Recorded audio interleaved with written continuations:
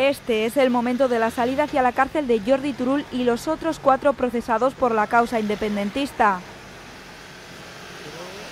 Así lo ha acordado el juez Pablo Llarena a petición de la Fiscalía y de la acusación popular de Vox.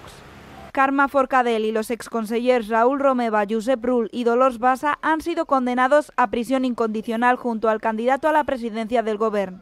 Mientras tanto, Marta Rovira, secretaria general de Esquerra Republicana de Cataluña, no ha comparecido ante el Supremo y ha huido supuestamente a Suiza. Se ha activado una orden de detención e ingreso en prisión para ella.